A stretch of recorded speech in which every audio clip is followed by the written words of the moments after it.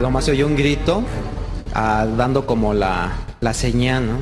De repente se bajan este, varios encapuchados, vienen, se acercan, le digo, en realidad no sabía con quién iban o, o por quién iban, cuando de repente pues nomás este, lo agarran, lo detienen, le leen su- sus derechos y, y se lo llevan tranquilamente, o sea, no pasa nada, pero sí como que fue algo impactante al ver tanto movimiento así. Yadira ya, ya está enterada de eso, supongo. En este momento lo están diciendo.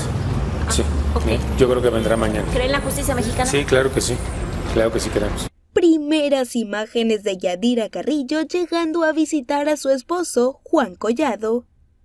La actriz no tardó en brindarle apoyo a su cónyuge, el famoso abogado mexicano que fue detenido ayer por su probable responsabilidad en la comisión de delitos de delincuencia organizada y operaciones con recursos de procedencia ilícita. Ella fue a visitarlo al reclusorio preventivo varonil ubicado al norte de la Ciudad de México.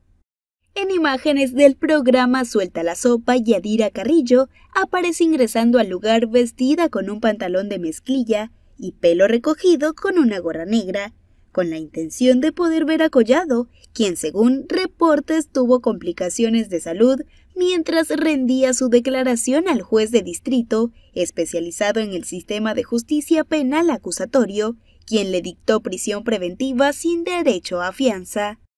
De acuerdo con el show de espectáculos, a Carrillo la acompañó el doctor Cosio, cardiólogo que se encarga de vigilar la salud de su esposo, quien durante la comparecencia presentó varios espasmos y parálisis en una parte de la cara. Sí, fue el apoyo médico porque se sintió un poco mal. Él está bajo observación del cardiólogo. Pero yo creo que esto es cuestión de tiempo. A que termine la audiencia es una cuestión de carácter civil que se desarrolló en Querétaro hace años. Asimismo, trascendió que el litigante está enfermo de diabetes desde hace algunos años. De la misma manera, en el programa se aseguró que Yadira confía en que se solucione esta situación debido a que su esposo y cuñado son excelentes abogados, pero también cuentan con un grupo de colegas que lo ayudarán a salir del problema.